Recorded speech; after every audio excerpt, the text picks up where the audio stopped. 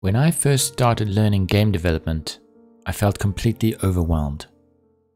I was excited about making games, especially with the Godot engine, but I had to piece together knowledge from everywhere.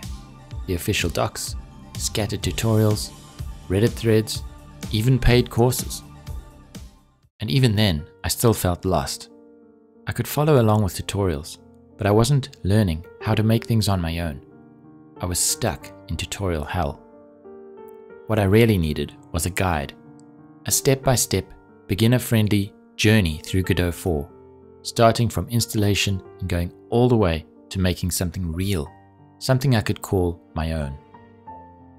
But I couldn't find anything like that.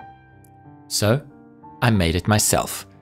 A Beginner's Guide to Godot 4 is the book I wish I had when I started. It's designed to build your confidence one step at a time with clear explanations, practical examples, and a learning path that actually makes sense. Whether you're totally new to game dev or just switching to Godot, this book scaffolds your learning so you're not just copying, you're understanding. If you've been trying to learn Godot but feel like you're constantly jumping between tabs, stuck halfway through tutorials, or unsure where to start, this book is for you.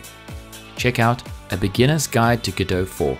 It's the guide I needed, and now it's here for you.